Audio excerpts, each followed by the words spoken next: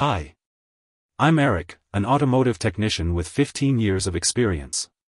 This video is going to explain the meaning of this error code, and show you how to diagnose and fix it. OBD2 code C0043 means there is a problem with the brake pedal position sensor, circuit B, subfault. This sensor is responsible for detecting the position of the brake pedal and sending that information to the vehicle's computer. Faulty brake pedal position sensor. Use an OBD2 scanner to check for any other related codes. Check the brake lights to see if they are functioning properly. Inspect the brake pedal position sensor for any visible damage or loose connections. Replace the faulty brake pedal position sensor. Ensure it is properly calibrated and recheck for any error codes. Faulty wiring or connections. Visually inspect the wiring and connections related to the brake pedal position sensor for any signs of damage or corrosion.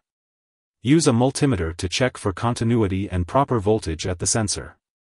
Repair or replace any damaged wiring or connections. Ensure all connections are secure and properly seated.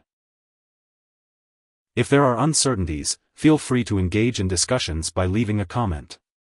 Alternatively, when facing difficulties, it is advisable to seek assistance from a professional auto repair shop and technicians. It is not recommended to handle it independently, especially when uncertain. Thanks for watching.